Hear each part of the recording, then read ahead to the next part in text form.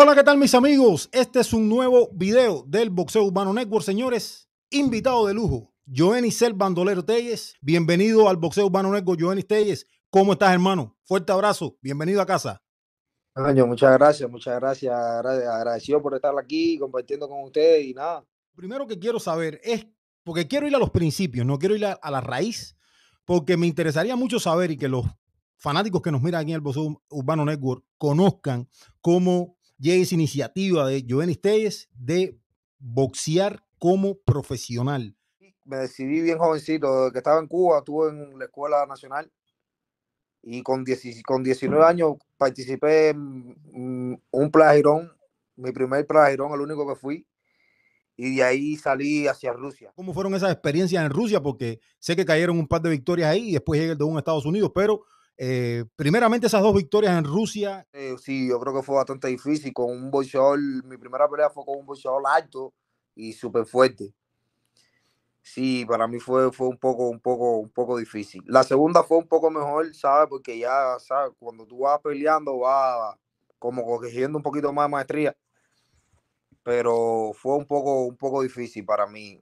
Además, ¿sabes? El clima, el cambio de clima, eh, todo, todo, todo, para mí fue un cambio, un cambio brusco, ¿sabes? Además, además que las condiciones que teníamos no eran la, la, la, la las idóneas, las adecuadas. Boxear como profesional, debutar en, en, un país, como tú decías, donde el clima es complicado.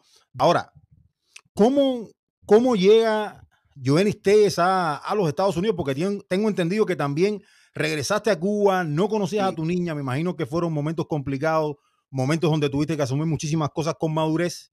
y después del regreso a Cuba, entonces eh, se te da la posibilidad de regresar a Estados Unidos, ¿no? Bueno, sí, sí. Te diré que eh, todo sucedió, todo sucedió a través, a través de, de, ¿sabes? Creo que fue Juari, de David Morrell, que eh, teníamos un compañero allá en común y Sammy, Sammy Mesa, y le habló sobre, sobre, sobre nosotros, que estábamos aquí, a sus promotores, ¿sabes? Y nos conocimos, a través de ellos nos, nos conocieron los promotores y ahí fui, y, y hicimos negocios, ¿sabes? Eh, desde, desde, aquí hacia allá hasta, hasta Rusia. Tuvimos unos contratos, pero no, como éramos, como hoy teníamos unos managers rusos que ellos no sabían nada de no, no, ¿sabes? No, te, no, no, no sabían nada boxeo, nada. Eh, sí, la palabra es que no sabían nada. Las cosas se fueron complicando allá, se pusieron súper, súper feas, súper, súper feas. Ya mi niña había nacido, mi niña había nacido, yo hablé con, con, con los, los promotores aquí que estaban súper interesados, interesados conmigo. Yo le dije que que si podíamos hacer otra cosa, yo iba a ir para Cuba, necesitaba ir para Cuba, ¿sabes? Conocer a mi niña, ya mi niña tenía 10 meses y yo todavía no la conocía. Y yo hablé con los promotores y los promotores me dijeron, bueno, dale, si esa es tu decisión, dale, nosotros vamos a tratar de ver cómo nosotros podemos solucionar ese problema y traerte para acá, que ellos tenían mucha ganas de trabajar conmigo, ¿sabes? Eso fue una de las cosas que, que, que más me dio esperanza a mí para, para seguir batallando, ¿sabes? Porque cuando llegué a Cuba, después de haber estado en Rusia un casi dos años, las cosas fueron, fue un cambio, un cambio súper, súper, súper, porque ya fue casi pleno coronavirus. La niña mía 10 meses, la vida no me había ido de la mejor forma en Rusia. Y fue un cambio, fue un cambio brusco. Y ya estando en, en Cuba, sí mantenía, mantenía la comunicación con los promotores. Gracias a ellos, sí no, no tuve, ellos siempre me atendieron allá, ¿sabes? Estaban interesados en trabajar conmigo.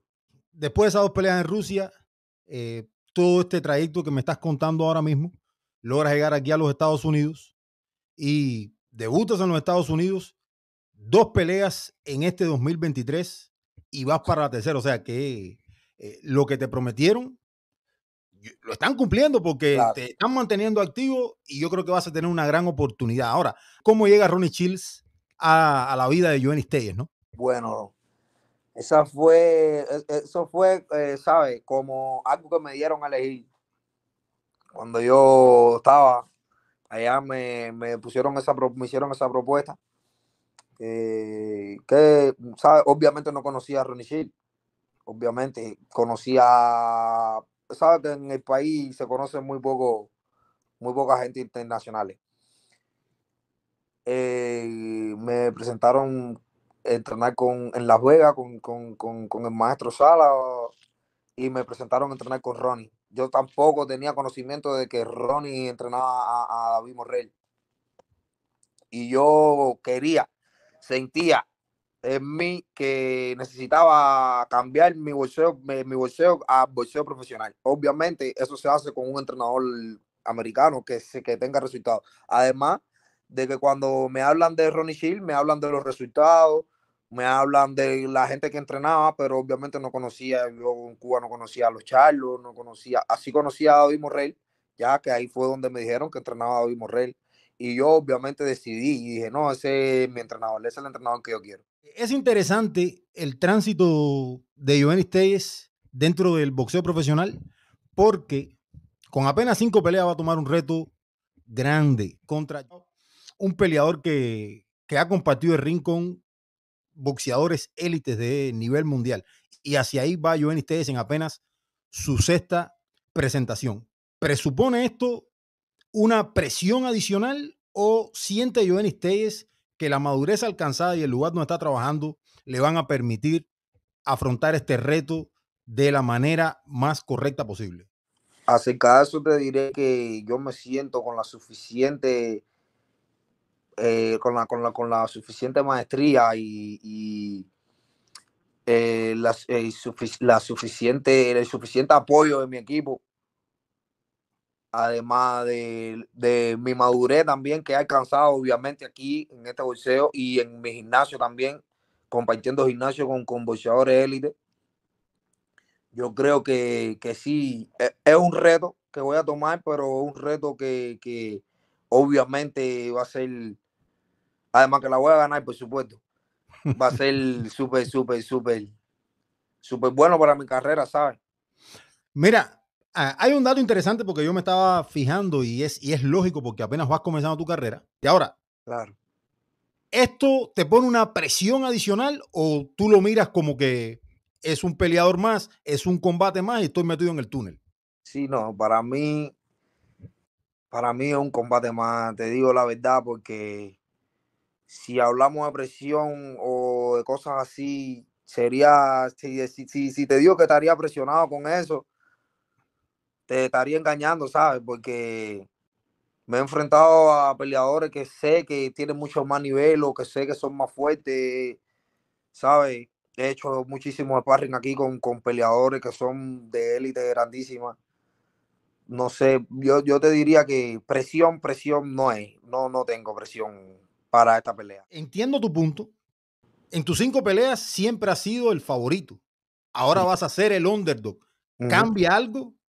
¿Cambia algo que seas el underdog o te sientes no, eso cómodo en ese rol? ¿Te eso, me cómodo? Sentir, eso me hace sentir más impotente, eso me hace sentir más, más...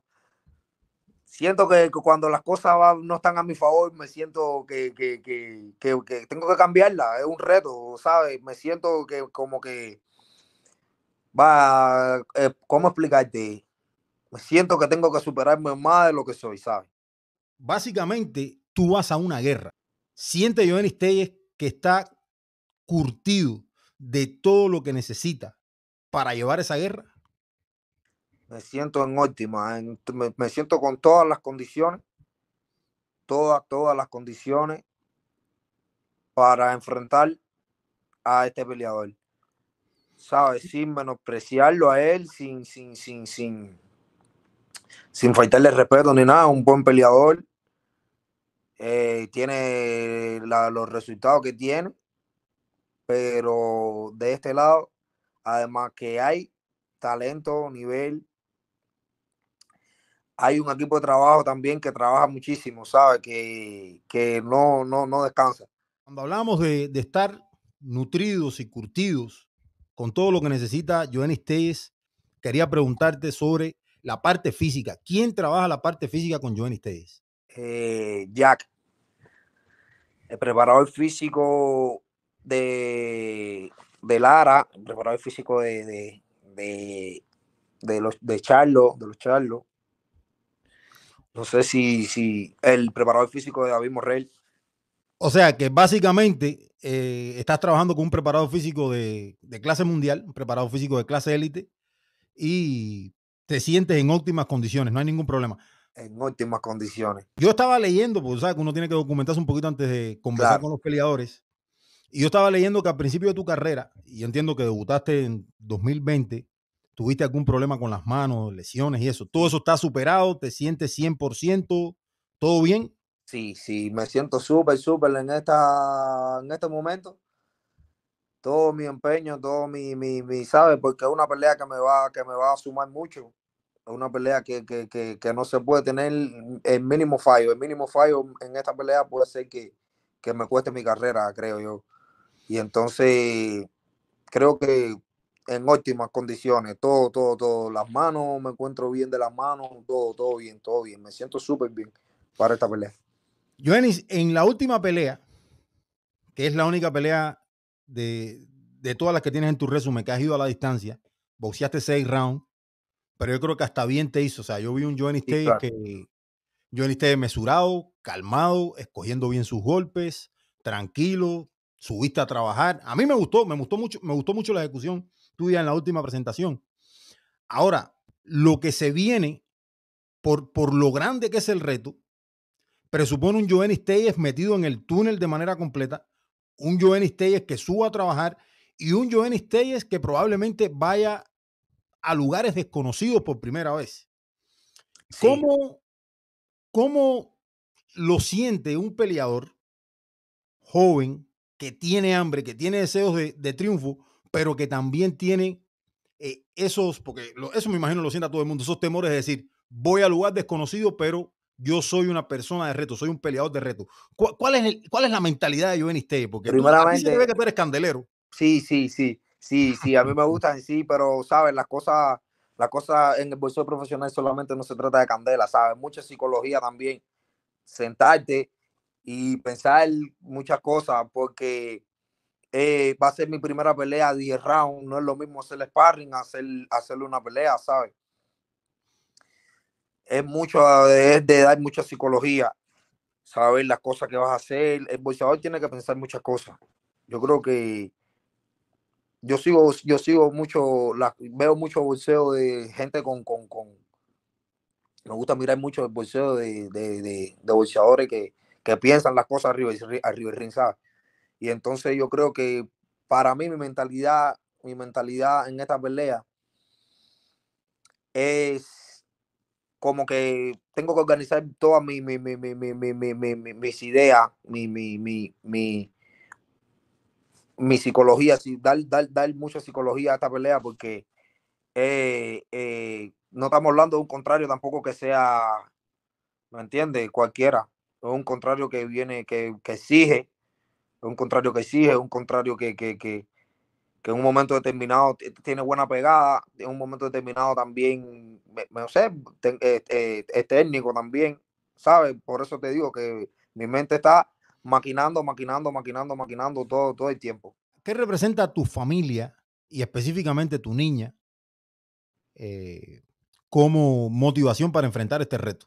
Todo. O sea, eh, es el motor impulsor. Eh, ¿cómo, tú lo miras de ese lado? Porque me imagino que sea como que es la primera gran pelea donde tengo que demostrar, pero yo tengo motivos por qué demostrar. O sea, y, estar lejos de la familia es, complicado. Bueno, mi niña, mi niña representa todo, todo, todo, todo, todo, todo, todo, todo,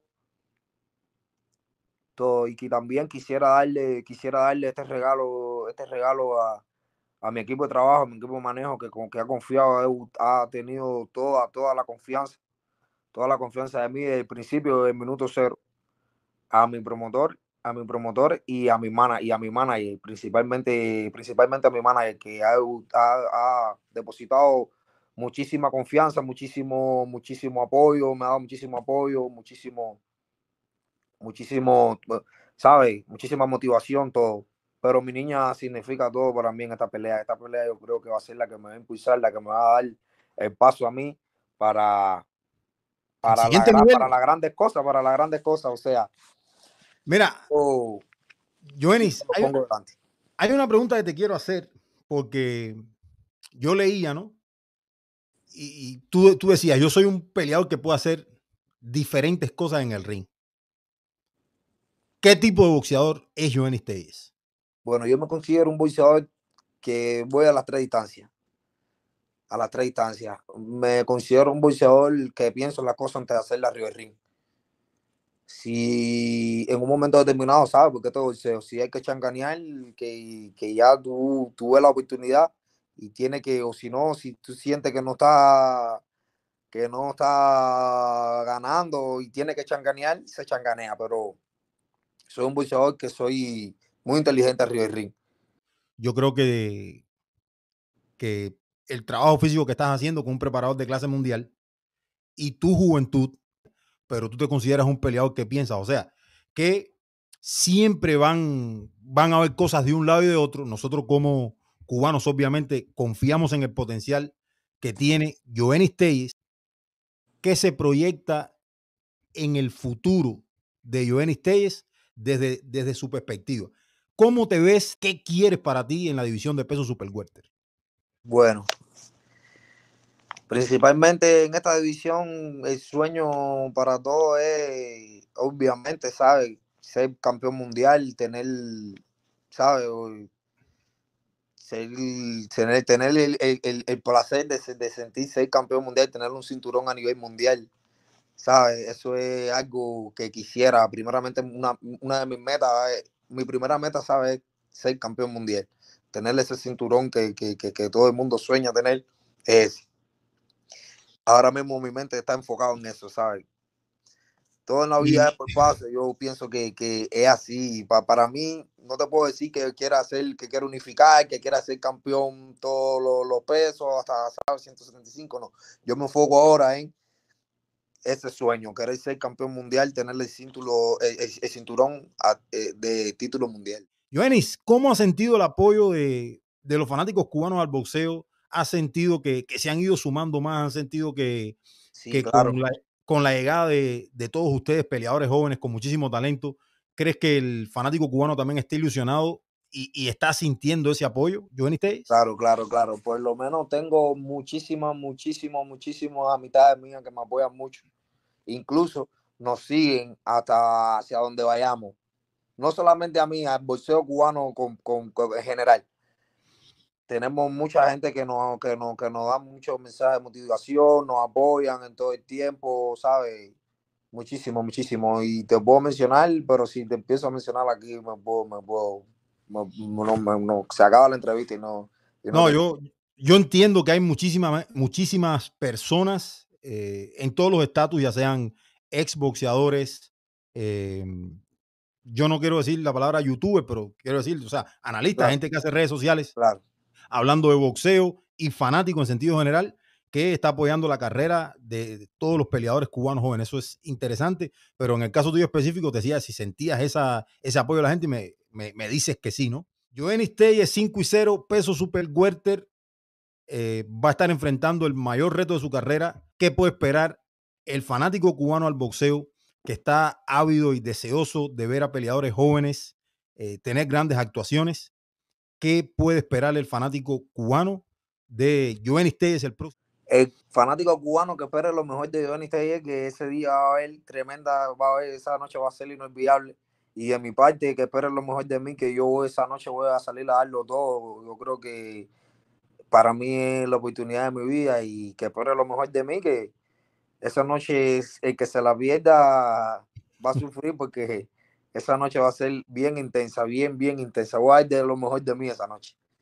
Seguro que sí. Bueno, señores, lo escucharon de las palabras del propio protagonista, así que lo único que queda es que se cierre bien el campamento, que se tenga un gran campamento y que eh, se vaya por la victoria, como siempre hacen nuestros cubanos. Nos vemos, Joven, y gracias por estar aquí. No sé si quieres enviarle un saludo a los fanáticos del boxeo urbano network y de paso dejas tus redes sociales donde te pueden seguir eh, en Instagram, en Facebook, deja tus redes sociales y ahí podemos estar cerrando, mano. Un saludo y gracias por estar aquí a Boxeo Urbano Network. Un placer, siempre voy a estar a la disposición aquí.